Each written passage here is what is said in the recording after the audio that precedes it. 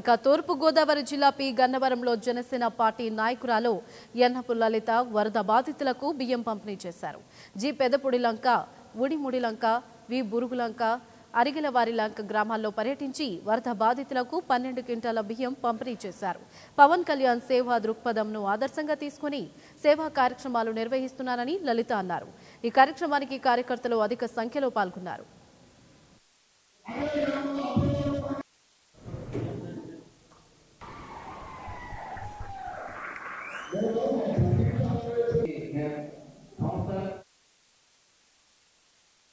రాజానగరం నియోజకవర్గ జనసేన పార్టీ సంస్థాగత నిర్మాణంలో భాగంగా ఈ రోజు రాజానగరం నియోజకవర్గంలో సమావేశం ఏర్పాటు చేయడం జరిగింది.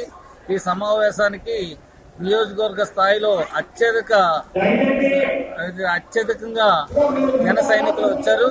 ఈ ఉత్సాహం చూస్తూ ఉంటే తూర్పుగోదావరి జిల్లాలో ఏ నియోజకవర్గం వెళ్ళినప్పటికీ ఈ జనసేన కార్యకర్తల్లో ఒక ఉత్సాహం వస్తుంది. ముఖ్యంగా ఈ మేనిఫెస్టో విడుదల చేసిన దాని మీద ఈ రోజు పవన్ కళ్యాణ్ గారంటే ఒక నమ్మకం ఒక నీతి నియమ నిబద్ధత అన్నది ప్రతి ఒక్కరిలోనూ కూడా ఉంది.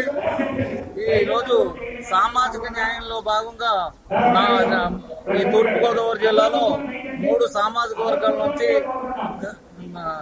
జాయింట్ కోఆర్డినేటర్ కోఆర్డినేటర్ అలాగే అన్ని సామాజిక వర్గాల నుంచి నియమించడం జరిగింది. దాంట్లో భాగంగా తూర్పు గోదావరి జిల్లాలో ఒక సమన్వయ కమిటీని ఇరవై నుంచి ముప్పై మందిని నియమించడం జరుగుతుంది అదేవిధంగా నియోజకవర్గ స్థాయిలోను మండల స్థాయిలోను గ్రామ స్థాయిలో కూడా ఈ కమిటీలు ఒక పదిహేను రోజుల్లో నియమించి సంస్థాగత నిర్మాణం జరిగిన తర్వాత ప్రతి ఇంటికి కూడా మేనిఫెస్టోని ప్రజల్లోకి తీసుకెళ్ళి పార్టీని బలోపేతం చేసే విధంగా సరి For more updates, please subscribe 99 TV Telugu.